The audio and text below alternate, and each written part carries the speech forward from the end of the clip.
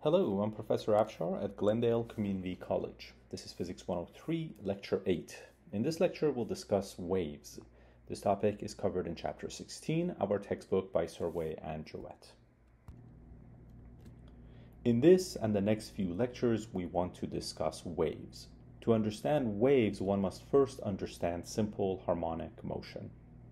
A primary example of simple harmonic motion has been the mass spring system.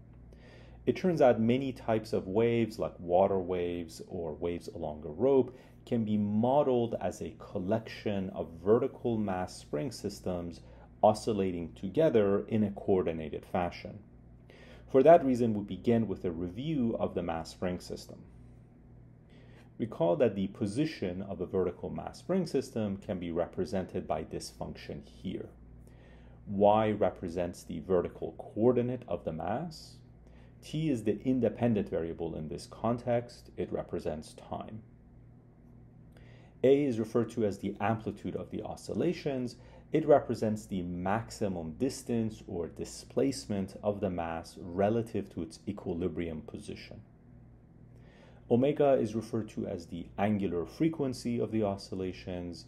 It represents the number of radians that the mass can oscillate through in each second. Phi is referred to as the phase constant and it indicates the starting point of the mass. So phi would be a different number when the mass starts above the equilibrium or starts below the equilibrium at t equals zero. Here we're representing the oscillations using a sine function. One can also use a cosine function. We refer to both of those functions as sinusoidal functions the numerical value of phi would be different depending on whether one uses a sine or a cosine function. That difference is usually plus or minus pi over 2 radians. There are a few other facts that we need to review about the mass spring system. Recall that the angular frequency depends on the mass and the spring constant of the system we can express omega as the square root of k over m. Here we are assuming that we're talking about a simple mass spring system without any damping or a driving force. In the context of oscillations, we also often talk about the period of the oscillations. The period of the oscillation refers to the number of seconds that are required for one complete cycle or one complete oscillation. Given k and m, one calculates omega, and given omega, one can then calculate the period as 2 pi over omega. One often also talks about the frequency of the oscillations, denoted by the letter f. Frequency is omega over 2 pi. As you can see, frequency can also be expressed as 1 over the period. The frequency tells us how many cycles the mass spring system can go through in each unit of time in each second.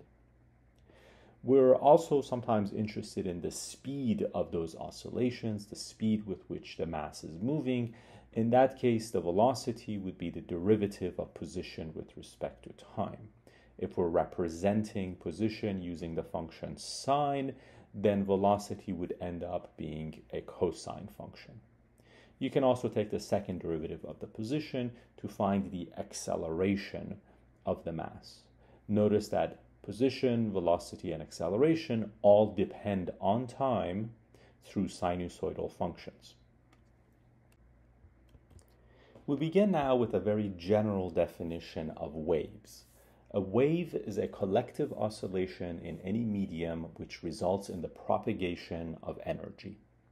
Notice that this general definition has two parts to it. In order to have a wave, one needs oscillations. So we need periodic, repetitive motion of something, of some atoms or some molecules, in general, of some medium. And we also need propagation. Propagation in this context refers to the spreading motion or the transmission of energy. So in order to have a wave, we need to have oscillations, but those oscillations need to result in the traveling or spreading or transmission of some type of energy. There are many different examples of waves. One may speak of water waves. In that case, the oscillations are in water. It's water molecules that are actually oscillating, so we would say the medium is water. One may speak of sound waves. In that case, the medium is air, so it's air molecules, more precisely nitrogen and oxygen molecules that are oscillating and transmitting energy. One can even talk about seismic waves. These are the waves that one gets following an earthquake. In that case, it's the dirt or the rocks of the ground that are oscillating. Our long term goal is to develop a mathematical framework that can be used to describe all kinds of waves. There are many different types of waves. However, for us in this class, our primary example or prototype of waves will be rope waves. Rope waves are relatively easy to understand and easy to imagine. In fact, most people can even experiment with rope waves at home if they wanted to. So for this lecture and the next couple of lectures, we're going to concentrate on rope waves. Once we have thoroughly understood the basic properties of rope waves, we'll move on to more advanced waves. This simulation here will help us understand the basic properties of waves. What we have here is a stretch of rope or string. These circles or beads that you see are supposed to represent the molecules or atoms of the rope. On the left end, the rope is attached to a wrench, which I can move up and down. On the right end, the rope just extends out the window. For the time being, we're not too interested in what's happening on the right end of the rope. We will only assume that someone is holding the right end, or maybe the right end of the rope is tied to a tree, for example. The only thing that's necessary is that the rope be pulled taut. In other words, there needs to be tension in the rope for us to generate waves along the rope. Other than that, for now, we're not too interested in what's happening on the right end of the rope. To generate waves along this rope, I can just grab the left end and move it up and down. And as I do that, I generate waves. As you can see, these waves are propagating or traveling from left to right and out the window. Now, obviously, I'm not doing a very good job because it's a little difficult to move the wrench up and down in a regular fashion. To generate more regular waves, what I need is a machine. So what we have here now is a machine that can generate waves for us. The machine is a relatively simple one. It consists of a rod that is attached to a wheel that can rotate. You can imagine the wheel is attached to an electric motor that can rotate the wheel with constant angular speed. As the wheel rotates, we would say that a point on the wheel executes uniform circular motion around the center of the wheel. The rod is attached to the wheel, so as the wheel rotates, the rod will move up and down. We would say that as this point executes uniform circular motion, the rod executes simple harmonic motion as it moves up and down. As it does so, it moves the left end of the rope and it generates nice regular waves for us. Our goal ultimately is to develop a mathematical expression that describes this wave. More specifically, we would like to know the displacement of each molecule at any given time. For example, if I were to pause this simulation at a particular instant in time, you would see that some of the molecules are displaced above the equilibrium line, while some of the molecules are displaced below the equilibrium line. The equilibrium line is this dashed line that you see here. We would like to know the exact displacement of each one of these molecules. This molecule here is also displaced below the equilibrium line, but its displacement is less than the displacement of this molecule. So each molecule has a vertical displacement, some motion in the y direction, and we would like to have a formula that can help us calculate the y coordinate of each molecule. A little more precisely, if I gave you the x coordinate of a particular molecule, along the length of the rope, you should be able to take that x coordinate, put it into your formula, and give me the vertical displacement of that particular molecule. Of course, your formula would also have to depend on time, because each one of these molecules is moving up and down. If I paused the simulation at a different moment in time, you would see that the same molecule that used to be above the equilibrium line is now below the equilibrium line. So ultimately, we would like to have a formula that depends on x and t. If I give you the x coordinate of this particular molecule and ask you for its displacement at, let's say, 17 seconds, you should be able to take x and t, plug it into your formula, and tell me exactly what the vertical displacement or the y coordinate of this molecule is. To help us develop that precise mathematical expression for the rope wave, we need one very important fact. That fact is that the motion of each one of these individual molecules is relatively simple. In fact, each individual molecule is executing simple harmonic motion. This fact may not be obvious as you look at the wave in real time, but if we slow down the simulation, you can see it a little bit better. Looking at the simulation now, you should notice that although the wave is moving from left to right, although something, perhaps energy, is propagating or traveling from left to right, the individual molecules themselves only move up and down. So although the molecules are being displaced, they're being displaced only in the vertical direction or along the y-axis and not at all in the horizontal direction. You can see this fact a little bit better if I lay down some rulers. For example, track the motion of this third green atom from the left. As the wave propagates from left to right, notice that the green atom only moves up and down strictly along the edge of this ruler. So while its y coordinate is changing as a function of time, its x coordinate is not changing. That tells us that although the wave is moving out the window, the molecules themselves never really move very far from their original locations. In fact, this motion is simple harmonic motion it resembles the motion of a mass spring system.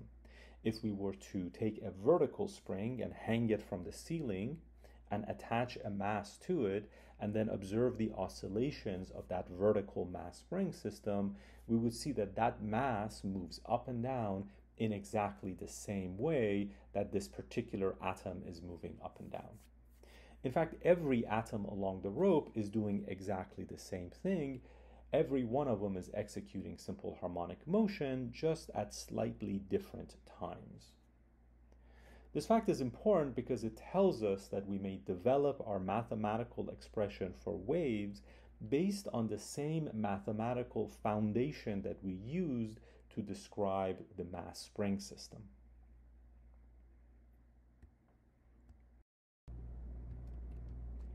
So how do we precisely or mathematically describe waves?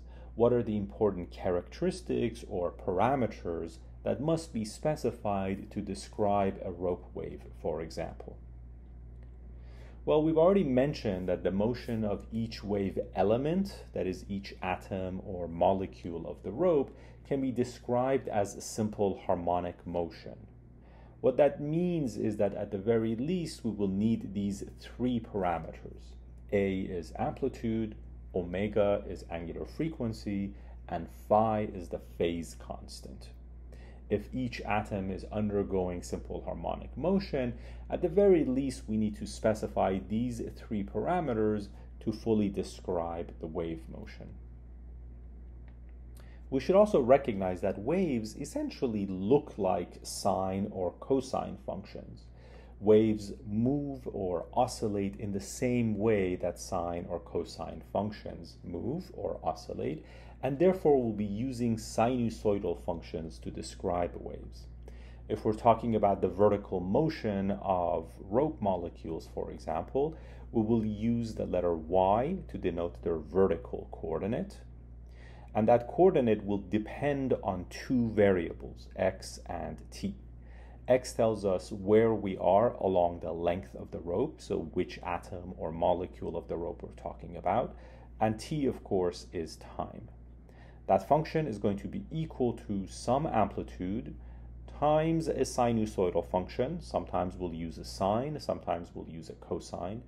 And at the very least, that sinusoidal function must depend on omega and phi. But of course, there will be other parameters. After all, a wave is more complicated than just the simple harmonic motion of a single mass spring system. So we also need to discuss other parameters that are important to wave motion. A quantity that is extremely important to wave motion is wave speed. After all, we have described waves as the propagation or the traveling or the spreading of energy.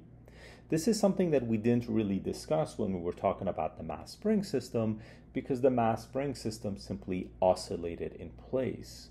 But with waves, energy travels along the length of the rope and if the rope is long, then that energy can travel very long distances. And so one of the things that we're interested in is in knowing how fast that energy travels. This is referred to as wave speed. Note that wave speed is different from the element speed. Individual elements of the wave, that is the atoms or molecules, might be oscillating up and down with some velocity, but as they do that, the energy is going to be propagating or moving horizontally along the length of the rope. Those two speeds are important, and therefore, when we finally develop our mathematical description of waves, we hope to see V somewhere in that description. As it turns out, V depends on properties of the rope, like the mass or mass density of the rope, and also the tension in the rope. So we will have to develop equations that tell us exactly what V is for different types of ropes. Another important parameter in describing waves is the wavelength. Wavelength is denoted using the Greek letter lambda. Wavelength is essentially the peak to peak distance of the wave. So if you uh, take a picture of a wave, a snapshot at a single moment in time, and you look at two consecutive peaks, the distance between them, measured in meters, would be the wavelength of the wave. This is also a parameter that we did not discuss when we were talking about the mass spring system because the mass spring system was just simply a single mass oscillating in place. But with a rope wave, we have many masses, many atoms or molecules, each one oscillating at the same time. So if we look at two atoms that are doing exactly the same thing, the distance between those two atoms would be referred to as the wavelength. Here I'm talking about the wavelength as the peak to peak distance. One can also talk about the valley to valley distance, and it would be exactly the same distance. In fact, you can also go from equilibrium to equilibrium. However, if you're going to choose equilibrium as your reference point, then you should be a little careful the wavelength, for example, is the distance from this atom to this atom here, not the distance from this atom to this atom. Although this atom and this atom are both at equilibrium, one of them is going up while the other one is going down.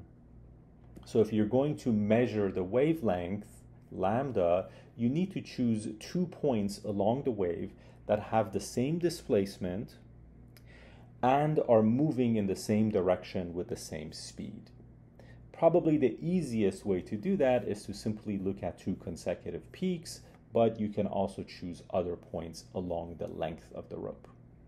So ultimately, when we develop our mathematical expression for a wave, we hope to see lambda somewhere in that mathematical definition. We turn to developing that mathematical definition in our next lecture. And that is the end of this lecture. Thank you for your attention.